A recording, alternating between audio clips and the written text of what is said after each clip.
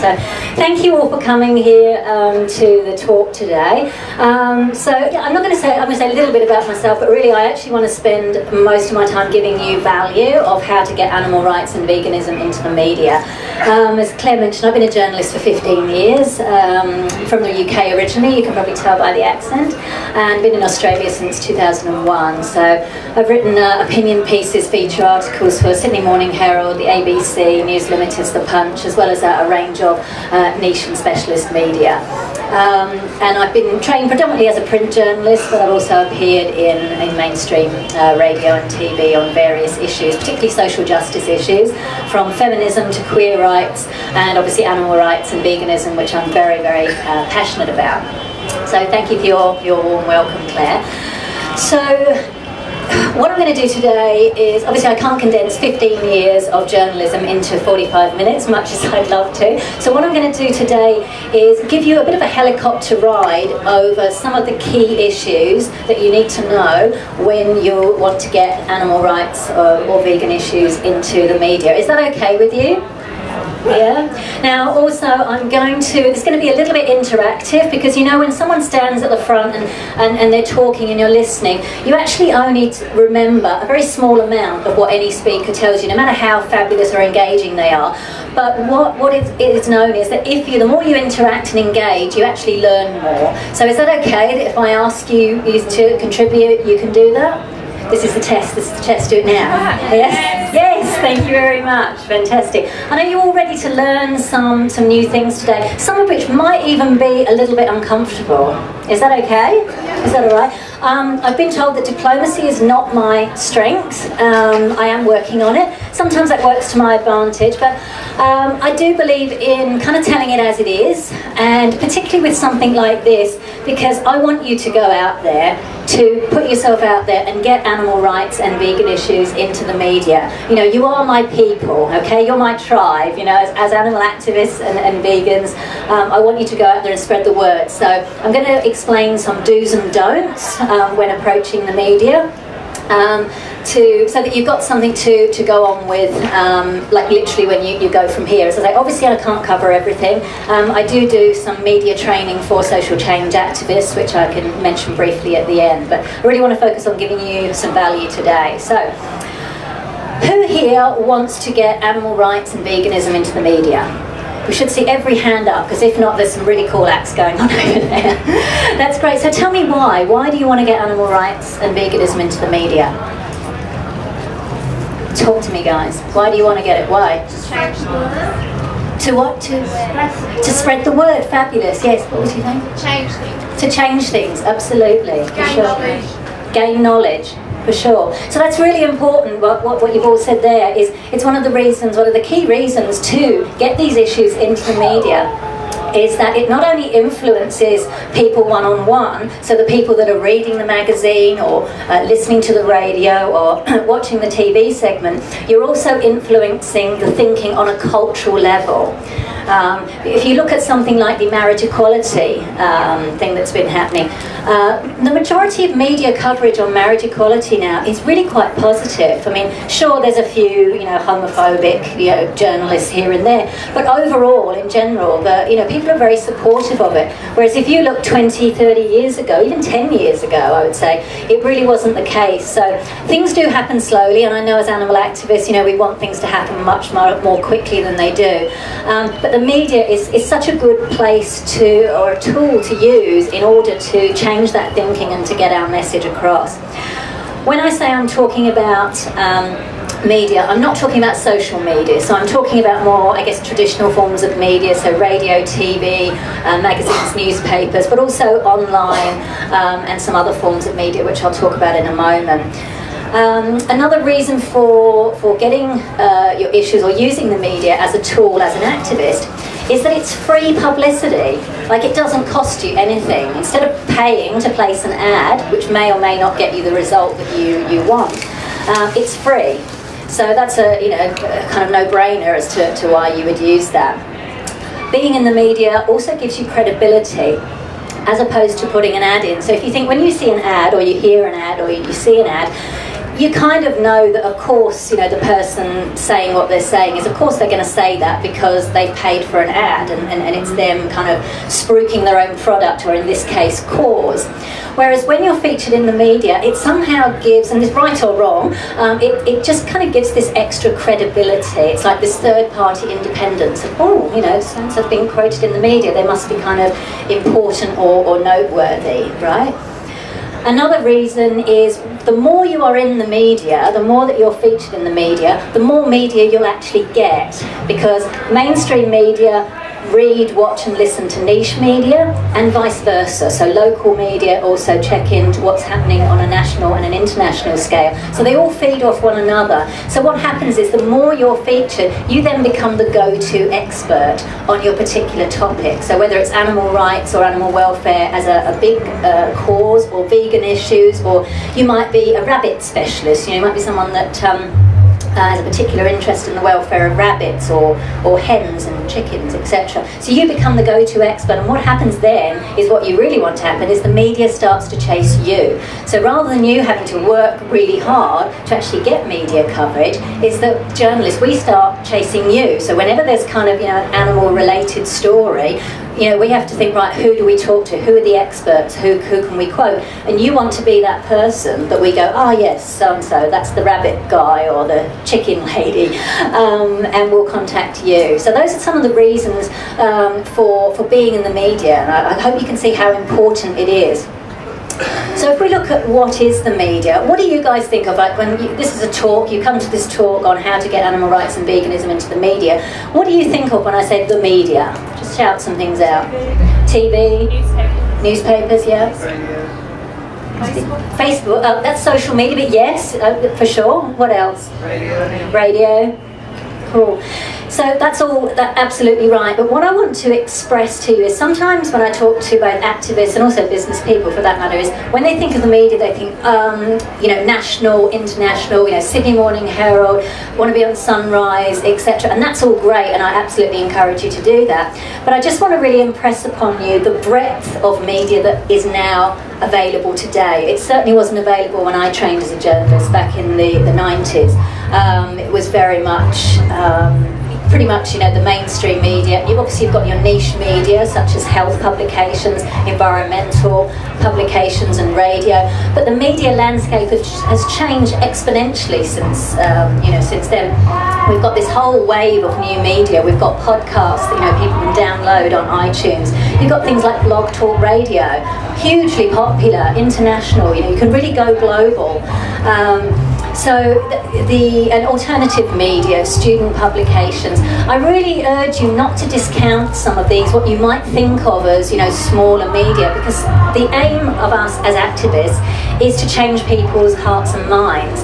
And however you can get to people, I'd really urge you to go for it because sometimes you can actually make more of a difference by targeting a particular uh, specialist outlet than trying to make a big hit with, with national media. So I just want to throw that out to you to, so that you really get an idea of the kinds of media out there. And also if you're if you're maybe a bit nervous about you know maybe going on something big like sunrise or a current affair or you know the australian you can actually start small. You can start local um, and and get some practice or you know work with people from blog talk radio or some of these alternative outlets to really um, build up your your practice and your media skills okay so I'm going to talk to you now about how, um, how to get into the media. Now, like I said, this is a huge subject, and I go into it in much more depth in, in my actual trainings. But I'm give, going to give you some key things today um, to be aware of. So, what I'm going to start with is some things that you need to be aware of before you even approach um, journalists or the media. There's actually a lot of this is the really important stuff. There's a lot of preparatory work you need to do before you even start to uh, approach journalists. So. And this is where, remember I said at the beginning, I, I was going to say some things and, and some things might be a little bit uncomfortable in terms of, I will give you some home truths. And one of them is that journalists don't care about your cause. Okay, now I'll qualify that by saying on a personal level they may well do. There's lots of journalists out there that are very passionate about certain causes, including animal animal rights and, and, and vegan issues. However, when we've got our professional hats on, not our personal ones, we don't care about your story. That is not front of mind for us because as journalists, our job is to provide value for our audiences. Okay, so I really want to make sure you, you take that away with you. Um, we're not here to give you free publicity. So never, whenever you're approaching a journalist, never contact them and say, "Oh, I've got, I'm involved in this really cool cause and whatever, um, and I'd like some publicity for it." Don't ever say that to a journalist. It really pisses us off um, because getting publicity for your cause, that's the work of publicists or PR agencies that you can hire to do that. As journalists, what journalists want is to provide value and we want stories. And we want stories that do three things. One, to inform, to entertain, or to inspire. Okay? So that's to inform, entertain, and inspire our audiences. And if we can get stories that do all three, that is gold. That is really, really cool. So if you can come up with stories and offer those to journalists that hit all of those three sweet spots, uh, you're going to do very well. So, so we want stories. And the other thing that I want to tell you is and again, this may make you feel uncomfortable, and I only say that because it made me uncomfortable when I heard it, is that as animal activists and as vegans, we are selling our cause, okay? We are actually in the marketing business. We might sit say that, oh yes, we're activists, we're altruistic activists, but actually you're in the sales and marketing business and you need to sell your cause. We are selling it all the time, whether you're having a conversation with your family or friends or your work colleagues, you are selling how you present your issues that, are, that are important to you um, impacts on how the other person, how well the other person will buy what you're selling. Now, I know some, for some people, the idea of you know selling your cause might be a bit uncomfortable because sometimes selling is linked with money, and money is evil and bad because the bad corporates do it and do bad things with it. If you're sitting here, if anyone here is sitting there thinking that, I get it. Like I really do get it because I, I was there. But I guess what I want to say to you today is you need to get over that, okay? And just make sure that you know you are an ambassador and you do have to sell. Um, so, stories.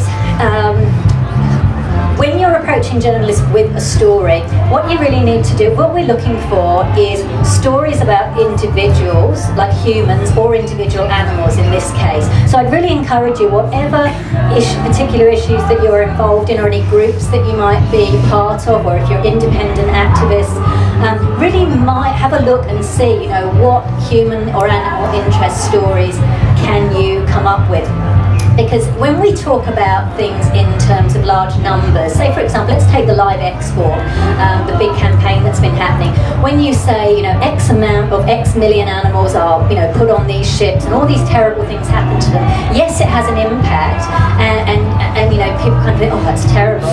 But when you actually take one animal, which was Animals Australia did so well, they took they, they, they took Tommy. Remember Tommy's story? It was like this is Tommy, here's where he's from, this is what happened to him. It really gets people, like it just kind of gets you in the gut and, and in the heart because we can connect as, as individuals, as humans, we just connect more one to one than we do to kind of vague statistics, even though they're bigger in numbers. And it's the same with people as well, you know, when you hear that, you know, um, millions of people are dying of starvation, you know, we kind of go, oh, that's really sad. But you put a human and individual face on it and you just connect, we really connect. So just have a look at the, the particular causes that you're into and think about the kinds of stories that you could come up with that would be able to give you some good media exposure. When you're um, giving stories to the media or when you're preparing stories to the media, what you need is a hook to hang the story on. So I can probably best describe what a hook is by giving you an example. Some of you might have seen that Suzy Spoon's Vegetarian Butcher was recently featured on 9MSN right? The hook for that was World Vegan Day, which was Friday. So the hook was a hook is a reason. It's a reason for a journalist to run a particular story. Because often when you're getting into the media, you're looking to get the right story to the right journalist at the right time. So it requires you to really think laterally and creatively about different kind of uh, hooks that you can create. Now, there are lots of hooks, there's absolutely loads and loads of them. I don't have time, obviously, to cover them in this short presentation, but I'm going to go through some of them here so that you've got something to, to go away thinking with. one of the um, really good hooks is, as I mentioned, uh, World Vegan Day. So it's special days. You know how there's lots of special days. There's World Vegan Day, there's World Animal Day, World Farm Animal Day. And they don't even have to be animal days. Um, you can tap into something like National Cupcake Day. And what you can do there is, you know, if you're someone who likes to create things in the kitchen, for example, you can make some really amazing, really cool, funky cup, vegan cupcakes and you know photograph them and get some media coverage that way. It may be national coverage like Suzy Spoon, or it could even be local um, stuff. Especially if you've got a good picture, and I'll talk about pictures in a minute because they're another hook. Um, but you can also create your own day. So as well as tapping into existing days, you can make up a day because all these days that, that started up, um, somebody had to do it. You know, somebody just made it up. They're, they're not official. They're only official because someone said it's you know blah blah blah day. So you could create International Rabbit Awareness Day and say it's going to be on this day every year. You send your press release and you pitch to the journalist. We don't know any different. You know, you create a really simple blog, which is very cheap to set up. You know, with World uh, International Rabbit Awareness Day, you send it out. We're like, oh, cool, okay, it's International Rabbit Awareness Day. We do a story. So you can create your own days. Um, the other thing that you can also do, and so that's one hook, is create these special days, hanging on on special days and creating your own days. Um, another hook is awards, and um, some of you here may know Kathy Divine. Um, Kathy's a lovely vegan animal activist, author, writer, and she created um, something called, they used to be called Vegans Are Cool Awards, they're now called Vegan of the Year Awards. And what that does, and, and she's done that very inexpensively, like you don't have to you know, spend a lot of money doing this, you can basically just say, right, we're going to create these awards and we're going to, these are the people we're going to award them to and get people to vote.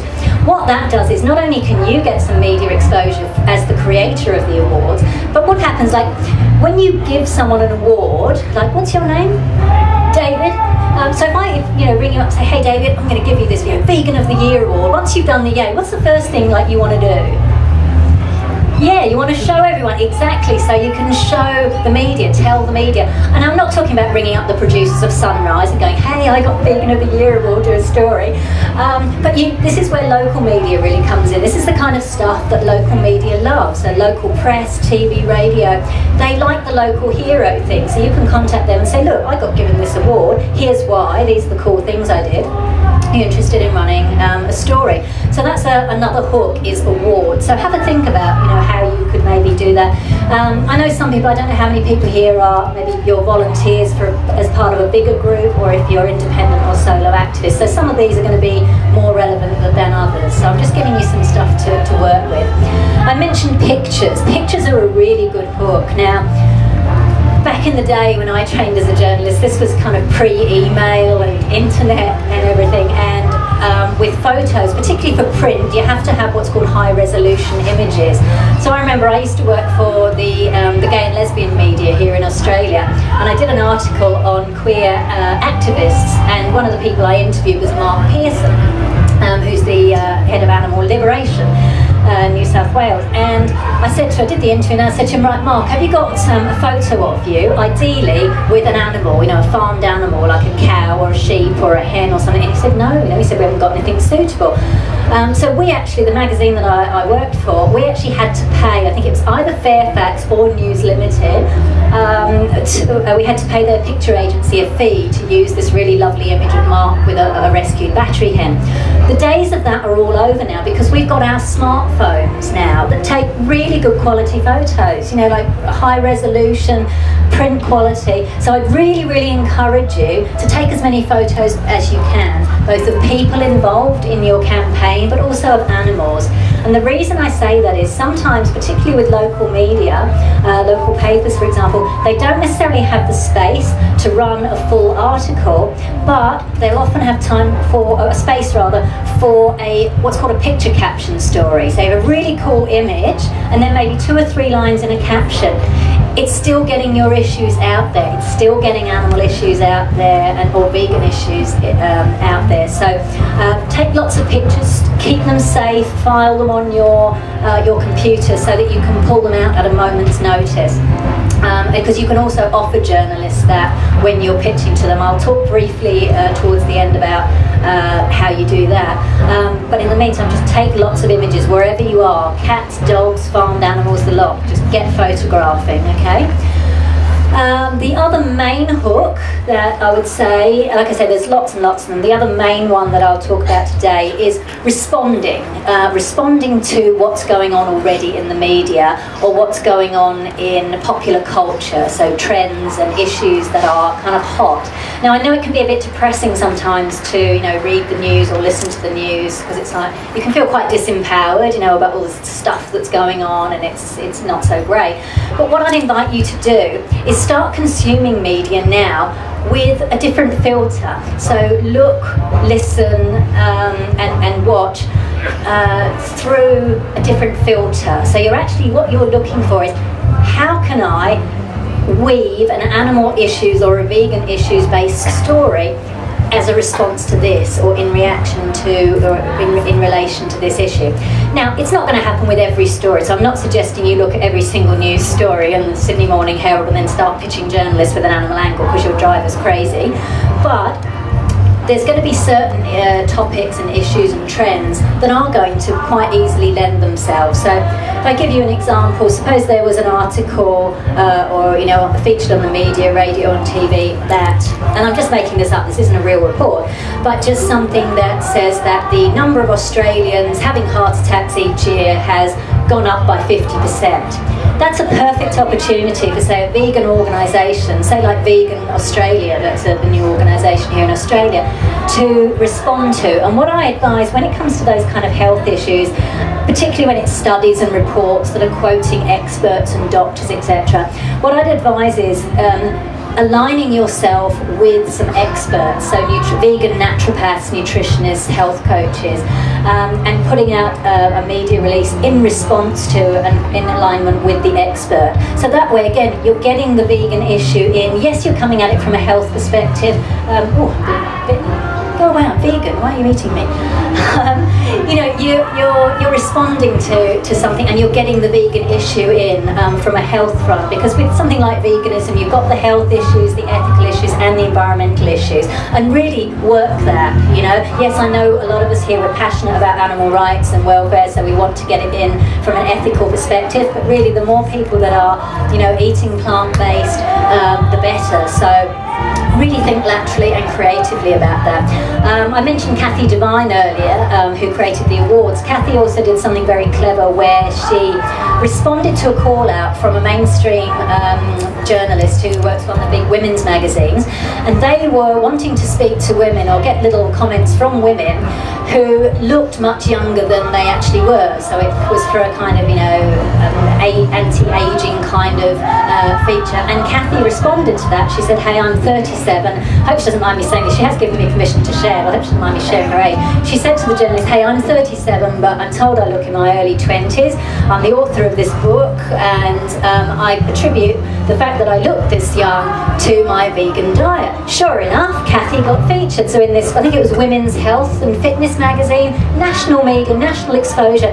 That feature was going to run anyway. But this way, you know, Kathy got in there, Kathy Divine, vegan diet. It implants the suggestion in people's minds. So, you know, these are really good opportunities uh, for you to kind of almost slipping in animal issues or vegan issues in a roundabout way and, and getting that into the public consciousness because that's how we change. Um, public thinking is to get people uh, associating the word vegan, for example, with something positive. Um, you know, so looking younger or you know, feeling fitter, being fitter and healthy and strong. Um, again, with food, you know, this is why it was great to see Suzy Spoon feature because, you know, pictures of those delicious foods. So people look at it and go, wow, vegan food? That, that's vegan? Instead of, you know, a limp piece of lettuce and a bit of unflavoured tofu. So it's all about, you know, changing people's um, thinking. So those are the kind of some of the hooks. Does this make sense? I just want to check in with you. I know I'm talking a lot. I'm trying to get in as much value as I can to you. Does this make sense of, of the kinds of hooks? Like I say, there's loads more, and I do go into them in, in more depth in my training. Um, but you know, these are some things you can go away with already and start to think about. You know how you can um, get animal issues into the media.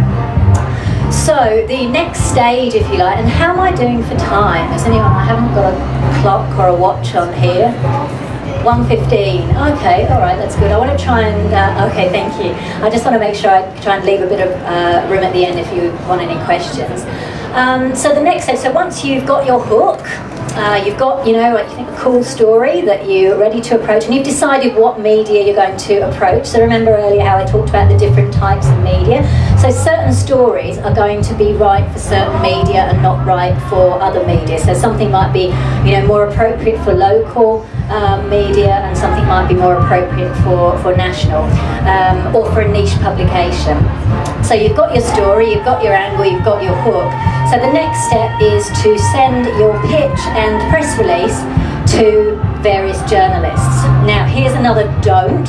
Never send a pitch, and I'll explain what a pitch is in a moment, to a journalist beginning, Dear Editor, because it, it's really irritating. What it says to us as journalists is, you haven't bothered to research the publication, to even bother finding out, you know, the editor's name. Nine times out of ten, it won't even be the editor. If it's a big national publication, for example, they've got section editors, they've got you know, news editors, features editors.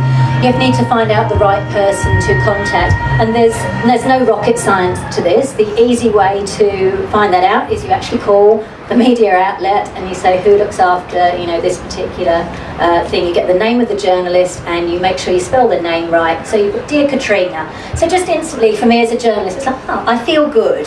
You know, you've, you've, you've bothered to show you're being uh, very pers- personalised. You're personalising your pitch to me. So a press release is it's kind of like it's your story. It's almost you writing the story with a headline. And again, I don't have time to go into crafting a press release. That's a whole kind of thing in itself. But basically, it's a headline, an introduction, and then lots of the different paragraphs with quotes and there's some other stuff that goes at the end.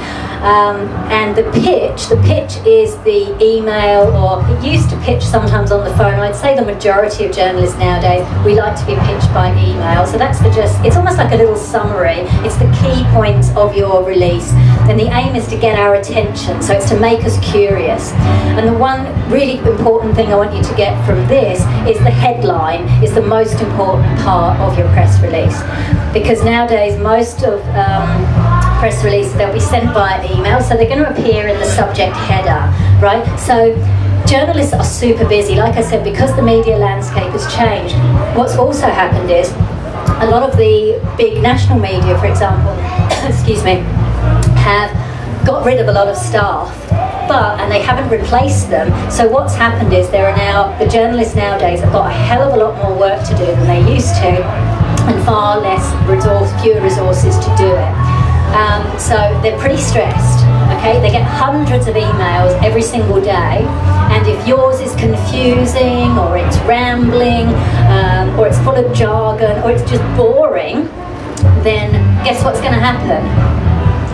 delete, exactly. We're just going to hit the delete button. You know how it is. You probably all get lots and lots of emails. Unless something's grabbed you in literally a few seconds, that is all you've got, a few seconds grab our attention, we're going to hit the delete button. So you need to make sure your headline is punchy, engaging, because what you want to do, you want me to then read the next bit. Okay, you want me to read the introduction, which is a little summary. You want me to read your pitch and your media release, right? Also, when you're sending the pitch and the press release by email, um, again, there's, there's other things to, to do, but I would say the key thing that I want you to take away from that is don't send a whole bunch of attachments. So don't put a whole load of images as attachments because it's unlikely to get through and it just clogs up the email system. Um, when you send your press release, what you need to do is make sure that you copy and paste, you create it in Word, okay? You copy and paste the text from the Word document and then put it into the body of the email. It's really important if you do that. If you just send a pitch and say, please find attached the press release, we're likely to press the delete button again because you're making us work. You're making us double click. And I know it sounds a bit kind of arrogant and deepish, like, oh my God, you've got to you know, double click, but it's time. So, but what I do recommend is you do also attach the Word document because what happens is once we've looked at your pitch and the body of our email and your press release and we think, this is actually quite cool. I quite like this. I'm going to take that to my editorial meeting. That's when we want to print it out. We will print, we'll, we'll open the Word document it's just nicer to print out a Word document uh, than an, uh, an email. Okay, so that's just a few little tips on when you're getting to the stage of actually sending through your pitch and your media release. Um, the next step in that would be, suppose, ideally you would hear, you would hear straight away, a journalist will go, yeah, this is great, cool, and they'll contact you. Um, doesn't always happen. Sometimes, and I'd say, look, probably in the majority of the time it's because it's not the, quite the right story right now so it may but other times it could be it's a maybe but it's fallen to the bottom of our email inbox so there are ways of following up with journalists and there are ways not to follow up with journalists the way not to follow up with a journalist is to pick them up pick up the phone and telephone and go hello I sent a press release two days ago. I'm just ringing to see if you received it. Right? That drives journalists crazy because if you can imagine, I've said we get hundreds of press releases every day. Can you imagine if every single person rang up and said, "Oh, just checking you got it"? We'd never get any work done, right? Um, and I've, you know, in 15 years of being a journalist, I've had that happen so much. I've individuals ring up. I've even had professional publicists and PR agencies do that. It's so annoying. But there are ways of following up um, with journalists that are a smart way of doing it. Don't have time to go into that today because, like I said, I'm giving you a helicopter ride over this today. It's something that I go into more in depth in my trainings. But don't do that anyway. I'm giving you something to, to not do. Um, and then the, the, final step, I guess, in the uh, in getting actually featured in the media is doing the interview itself. So journalists will contact you and go, "Yeah, this sounds great. Um, I want to do an interview with you." Um, now, again, this is a whole kind of training in itself. Um, and I don't have time to touch in on that, but there, there's ways of doing media or speak, handling journalists so that you get your message across. Because journalists, we can be tricky, and sometimes we like to lead people off down our own little path and have our own agenda, right? And you might have seen you know, some of our politicians being well and truly shafted by, um, by some journalists. So there are ways to do that so that you're ensuring that you're getting your message across in a way that you're not coming across as aggressive and you are actually answering journalist questions, but you're bringing the topic back always to uh, to the to your your cause and your message. Okay. So look, like I said, that was a pretty much a, a fast helicopter ride over how to um, get animal rights and veganism into the media. Um, I've mentioned that I do have um, some training that I do, some live training. I'm also preparing some online training. If anyone would like to um, be put on my database, go on my database to be kept up to date with that, uh, you're more than welcome to do so. I'll pass this round here. Um, while that's going round, um, has anyone got any questions um, that you'd like to know? Yes. What's your name? Uh, Rico. Rico. What's your question, Rico? I've got actually a two-pronged question. Okay, two-pronged question. Come here. One is you sometimes look on websites and you see a list of uh, reporters and the editorial as well. So Rico's saying you're, I'm just going to repeat it as we go so everyone can hear because we've got people out the back. So Rico's saying that you go to some websites and you've got lists of reporters and, and editors, yeah? Yeah. So, uh, is it a good idea to find out what uh, the reporter's uh, known for and, and direct it to them rather than sending something to the, editorial address? Fantastic question, really lovely question, thank you. So Rico's saying, uh, is it best to look at the types of things that certain reporters and journalists cover, uh, rather than just, and sending something specifically to them, rather than just sending something generally to the main editorial email address? And the answer to that is in the majority of cases, absolutely yes. The more you can personalise and go for individual journalists, the better. Because if you, and, and that's another thing I guess I should mention, is when you're uh, it's one of the things that we cover when you're looking to get into the media is make sure that you read, watch and listen to it. So if you decide you want to get on Sunrise, make sure you watch a few episodes. You don't have to watch it all the time, day in, day out, but make sure you are familiar with the media you want to get in. Like I say, I can't, the times when I was working, I used to work for, as I mentioned, for the gay media and I was editing a women's magazine, I would get pitches that were completely irrelevant for my target market. And it's really annoying and sometimes you can get yourself blacklisted from that because if you keep doing it, uh, we're just going to delete the button. So yes, absolutely. Um, look at what journalists cover, and particularly look at you know journalists that have covered animal issues or vegan issues favourably, um, and you know approach them. So yes, absolutely. Can I do the second prong? You can do the second part. Yes, Um, go for it. The second part was what if you want to have a particular article in mind rather than you know a story that you that a, that a reporter might write about. Mm-hmm. Um, what's the best way to get that through? Okay, so Rico's asked now if you have a particular article that, you, that you've written, are you, are you talking about?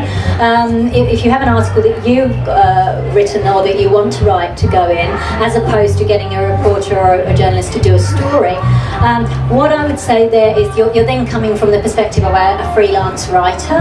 Um, so there are ways, again, of, of pitching the, the publication or the, uh, um, yeah, it's probably more going to be publication or online. Online is probably better. What I would say is if you're a professional writer and a professional journalist, you may get paid. So when I wrote for Sydney Morning Herald, the ABC, yes, I got paid, even for opinion pieces. Um, but what's happening in the media landscape now is a lot of public, a lot of media outlets don't want to pay their writers. So if they can get an expert to write, they see that that's exposure. So it really depends on you know if you're just wanting to get in there. Your best bet would be to look at particularly online. Sydney Morning Herald online only. I don't think they, they don't generally, they'll pay certain writers and journalists, but mostly they don't. So that would be somewhere if you just want to get something in, then approach particularly the opinion um, piece. Those are quite good things to get in. Um, so yeah, you would just pitch as a freelance writer. Um, just make sure that you know what it, it still comes back to the hook. So if it's you know responding to something that's going on or a particular trend. Um, when I did, um, I think it was one of my first op-eds for Sydney Morning Herald. It was um, it was based on I think Voiceless were launching this book, the first law book in Australia, and uh, so you know I did kind of that was my hook and got it in. So still use the hook, but yes, you can certainly pitch from that perspective as well. To answer your question, great. Any other questions? Are we all just melting here? I feel like the Wicked Witch of the East here. I'm going to go into a puddle. yes, what's your name? Helen. So Helen saying you told us how not to follow up. What's one way to follow up? One way, uh, to, uh, a good way to, to follow up is so you've sent in your pitch, you've sent in your release, you haven't heard anything. So rather than, as I say, ring up and just go, I'm checking you've got the press release. What you can do, it's a little bit crafty because what you really are doing is checking that they've got the press release and are you interested.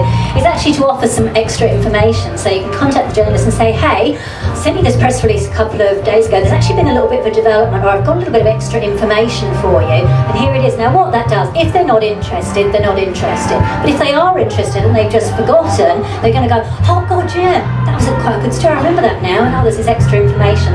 So then, um, if they are interested, then they might well um, run your piece or run your story. Okay, does that help? Cool. How am I doing for time, Claire? I've got what? Few minutes. A few minutes? All right, a few minutes. Any any other questions or comments? Yes, no? Okay, so um, I did mention that um, I do do some media training for social change activists. I think the thing is still being passed around.